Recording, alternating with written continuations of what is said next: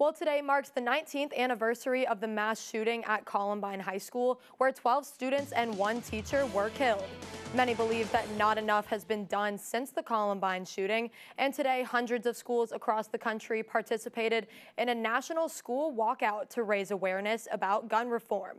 From Phoenix to Philadelphia to Frisco and Washington, D.C., students wanted their voices to be heard, and even the survivors of the recent shooting at Marjory Stoneman Douglas High School in Parkland, Florida, participated in the walkout. And students right here in Tuscaloosa had their own walkouts today at Central and Bryant High School, and some had a gun control rally to show the community that they believe change is necessary here in our country. Not one more! Not one more! Not one more! Students from the Tuscaloosa community spent their school day walking out and rallying to push for more gun reform. There is no reason for us to have to come to school and fear for our lives.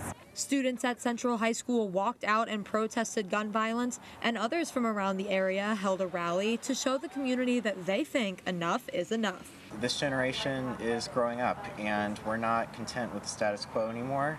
We're realizing that the world isn't as great as we've been told it is, and we're not going to stay silent about that.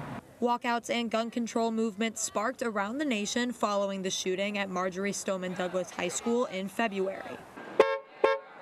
And today, students here in Tuscaloosa stood up and walked out for what they believe in. Age restrictions, age limits, limits on certain guns, and waiting periods, I think that all of those in place combined would help reduce gun violence. Students told me that they never know when their school might be next, but also how they fear a possible shooting almost anywhere they might go.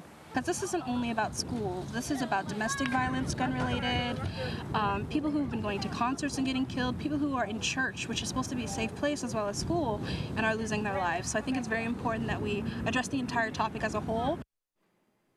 Now, Moore said that she's very proud of her friends and classmates for participating in the events today and that she hopes that their message was heard.